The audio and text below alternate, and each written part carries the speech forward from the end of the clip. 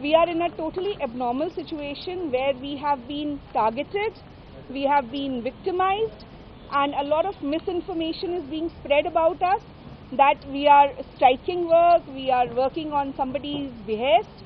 We are not on strike.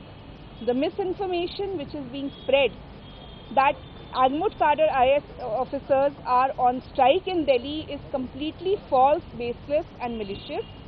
We are all at work, we are in our offices.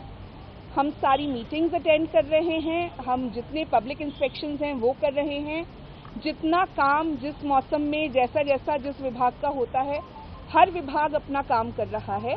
और कोई भी officer ऐसा नहीं है जो कि स्ट्राइक पर हो या काम स्लो करने के लिए बैठा हो। Everybody is working to their utmost sincerity with utmost vigour utmost dedication